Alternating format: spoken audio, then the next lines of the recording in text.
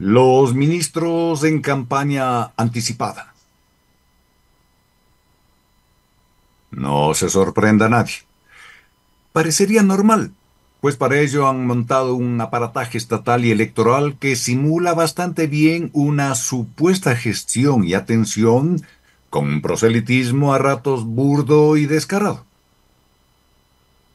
Pero, ¿qué se puede esperar si desde la máxima autoridad el mal ejemplo se impone? Y ya lo habíamos advertido. Si los ministros candidatos no renuncian a su cargo, seguirán usando el equipo gubernamental para hacerse pasar por benefactores de un electorado necesitado de recibir lo mínimo con tal de salir de sus angustias cotidianas.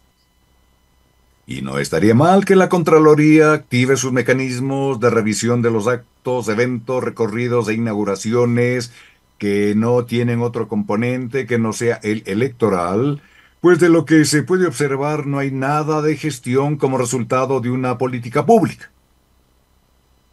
Y por si fuera poco. Ayer el ministro de Defensa también usa su cargo, su poder y a los medios a su servicio para lanzar amenazas a los votantes si se les ocurre escoger a los adversarios políticos del actual gobierno. ¿Eso no se llama corrupción? Salir en defensa de la ministra del Interior para emitir pronunciamientos políticos desde una cartera de Estado como la de defensa con unos límites muy bien definidos, ¿no es el uso indebido de los recursos públicos? A eso se une la agenda bien apretada de la esposa del presidente, que hace gala de sus actividades supuestamente personales para llegar a tocar el corazón de los pobres, llevando migajas y sonrisas como bálsamo para los males que adolecen esos sectores por culpa de la inacción del gobierno que preside su esposo.